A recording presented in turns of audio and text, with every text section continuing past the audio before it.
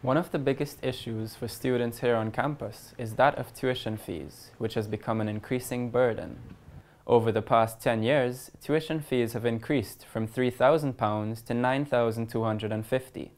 The view of expert commentators is that the Chancellor is expected to freeze tuition fees, at least for the next school year.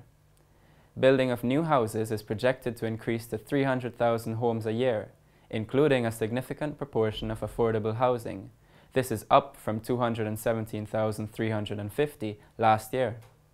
The tax you pay when buying property, known as stamp duty, is expected to be cut.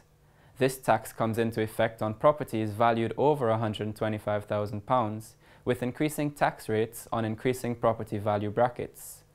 Further expectations are that the personal tax allowance will be increased from £11,500 to £12,500, which means any earnings below £12,500 will be income tax free. Single-use plastic items are expected to be taxed in a move which will please environmentalists. This is aimed to help prevent pollution, especially in oceans.